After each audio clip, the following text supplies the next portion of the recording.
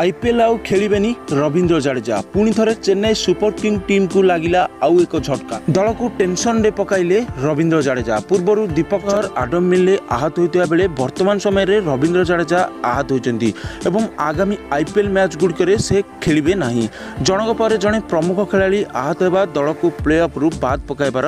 କାରଣ ହୋଇଛି royal challenger Bangalore team বিপক্ষ ম্যাচরে রবীন্দ্র জাডেজা আহত হয়েছে বেড়ে গত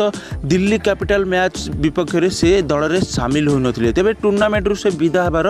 জনাপড়ি রবীন্দ্র জাডেজা জনে অধিনায়ক ভাবে হো কিংবা অলরাউন্ডর ভাবে দলকু নিজের খারাপ ফর্ম যোগ নিরাশ করছেন জাডেজা পুঁ থে নিজ ফর্ম ফেরি ভারতীয় টিম্রে আগামী সিরিজ গুড়িকরে ভাল পরফরমান্স দেবে বলে আশা রয়েছে তেবে ভারতীয় টিম্রে জাডেজাঙ্কর ব্যাটিং তথা অলরাউন্ডর ফর্মকু নিয়ে আপনার কণ রায় কমেন্ট করে ଜଣାନ୍ତୁ ତା ସହିତ ଭିଡ଼ିଓଟି ଗୋଟେ ଲାଇକ୍ କରନ୍ତୁ